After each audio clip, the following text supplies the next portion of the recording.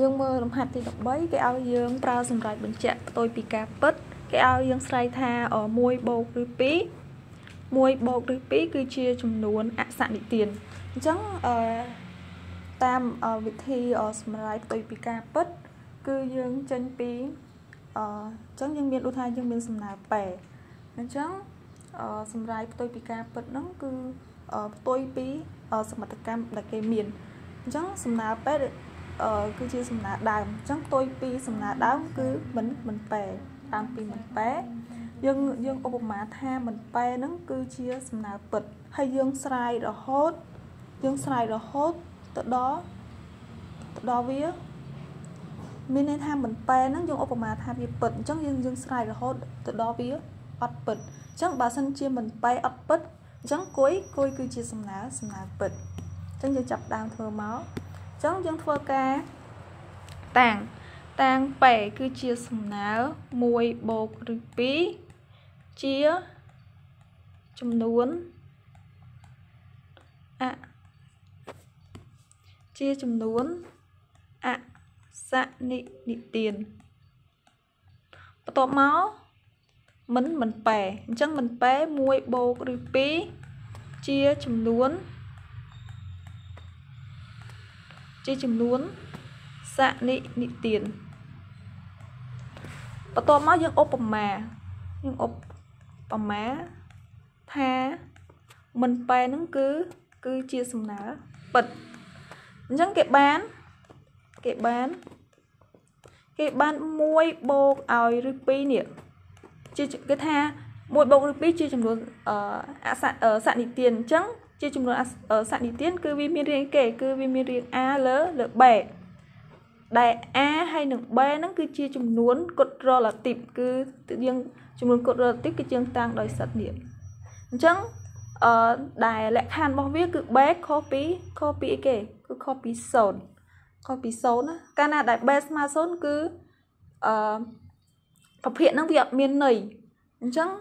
លក្ខខណ្ឌរបស់វាចំនួនសនិទានគឺ B ខុស ខុសពី0បន្ទាប់មកយើងធ្វើការបោះ B នេះមួយអង្គទីអឺ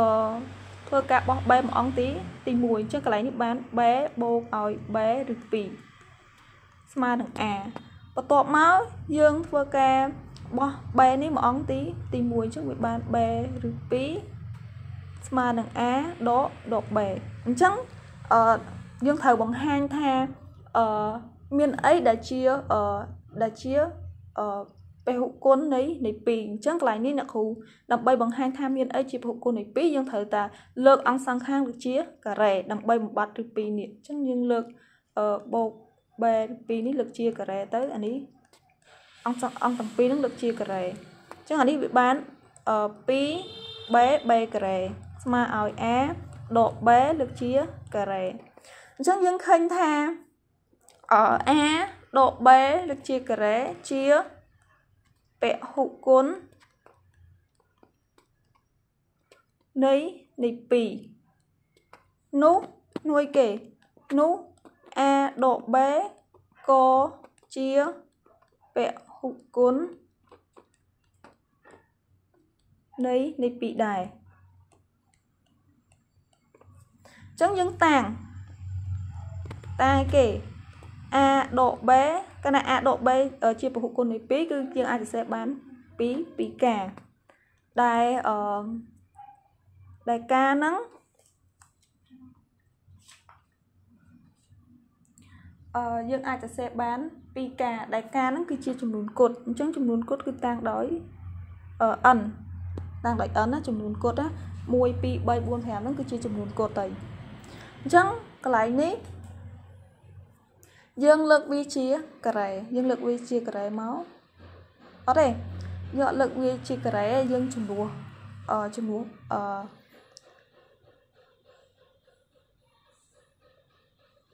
អឺយើងជំនួសនេះយើងជំនួសអានេះតាមនេះយើងតាំងដោយ1មកអញ្ចឹងតាមតាម1តាម1គឺអឺ a ដក b លើកជាការ៉េនេះ a ដក b លើកជាការ៉េអញ្ចឹង a ដក b គឺយើងតាំងដោយ 2k 2k លើកជាការ៉េស្មើឲ្យ 2b b ការ៉េអអញ្ចឹងអានេះបាន4 4កាអានេះស្មើឲ្យ2 2 b ការ៉េអញ្ចឹងនាំឲ្យគេនាំឲ្យ b ការ៉េគឺស្មើឲ្យ2 2កាអញ្ចឹងយើងឃើញថាគេបានគេបានអឺ b ការ៉េជាពហុគុណ នៃនៃ2នោះ b ក៏ជាពហុគុណនៃ2 2ដែរនៃ2ដែរ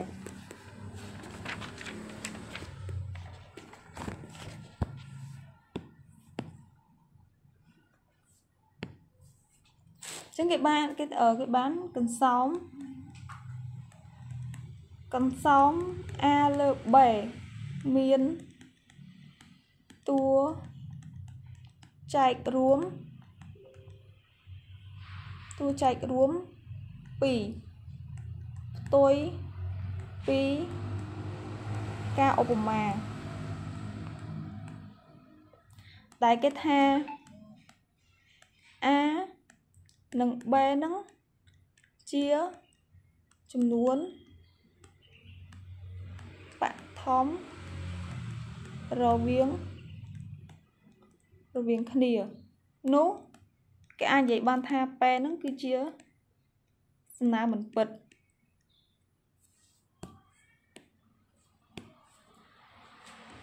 ជាសំណើមិនមិនពិត